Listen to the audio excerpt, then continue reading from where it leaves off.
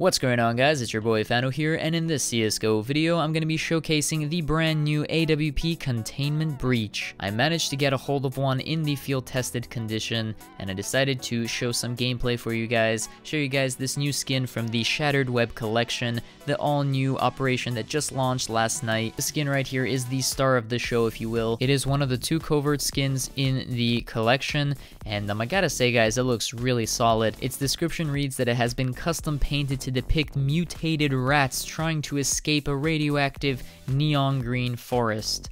Who knows what radioactive diseases they carry? That's actually sick. The skin right here is in the field tested condition, like I said. It has a 0.3 float, and I gotta say, it looks really good. You can barely tell that it has any scratches on it. Um, it looks solid for field tested condition. We've been getting a lot of covert AWP skins. I don't know if that's a good idea, but I mean, I gotta say, these skins are really good, and it's giving players a lot of agency, a lot of um, choice so that they can decide what AWP skin to go with, and um, I can definitely see this being in the top 10 best AWP skins in the game. A lot of people are going to like this skin, um, including myself. Let me know in the comment section below if you guys are going to be purchasing one. Um, obviously, I would wait for the price to go down as more and more of these bad boys get unboxed.